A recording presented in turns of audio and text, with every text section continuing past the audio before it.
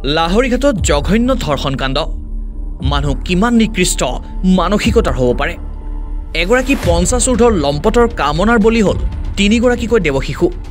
এই নিকৃষ্ট ঘটনা সংঘটিত হৈছে লাহৰীঘাটৰ জেঙৰবৰী গাঁৱত ৰজনীকান্ত দৈমাৰী নামৰ এজন পঁচপন্ন বছৰীয়া লম্পটে একে গাঁৱৰে পাঁচ ছয় আৰু সাত বছৰীয়া তিনিগৰাকীকৈ শিশুক ফুচলাই নি মুখত সোপা দি ধৰ্ষণ কাণ্ড সংঘটিত কৰি পলায়ন কৰে। এই ঘটনাই সমগ্ৰ লাহৰীঘাটবাসীক লজ্জানত কৰিছে।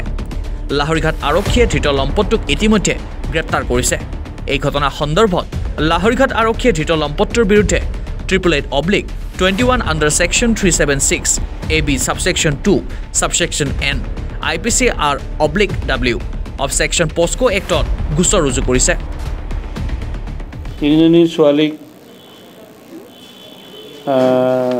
বয়স ছয় বছৰ সাত বছৰ মানে ৰেপ কৰা বুলি আমাৰ তাত ৰিপৰ্ট হৈছিলে।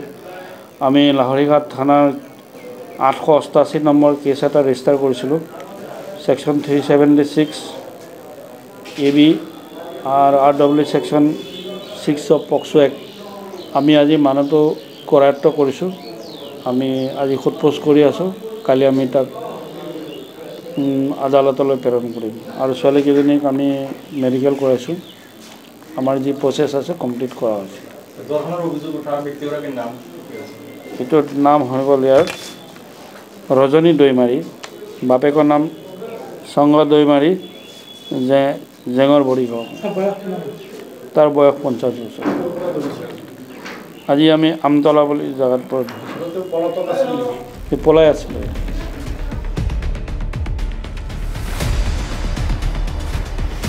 লাহৰঘাটৰ পৰা আব্দুৰ ৰফিক আনচাৰীৰ ৰিপৰ্ট নিউজ নেষ্ট।